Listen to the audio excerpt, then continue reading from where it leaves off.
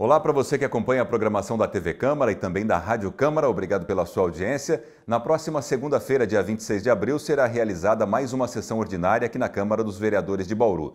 Teremos vários assuntos em pauta com os requerimentos dos vereadores sobre os mais diversos assuntos da cidade e também os projetos de lei. Em primeira discussão, para apreciação em plenário, serão dois projetos. Um deles de autoria da prefeita municipal, que trata da concessão de área pública do município a uma empresa da cidade.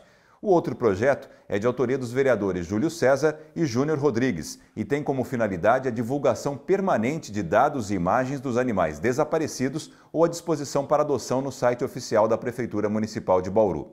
Já em discussão única estão o parecer de ilegalidade ao projeto de lei que dispõe sobre a isenção de ISS e IPTU aos contribuintes que estão com estabelecimentos fechados ou atividades suspensas em razão da Covid-19. Parecer este de autoria da Comissão de Justiça, Legislação e Redação. Ainda em discussão única, uma moção de apelo trazida à discussão pela vereadora Chiara Ranieri, que pede ao governador do estado que reconheça os profissionais de educação física como profissionais de saúde e que os locais de prática de atividade física tenham caráter essencial.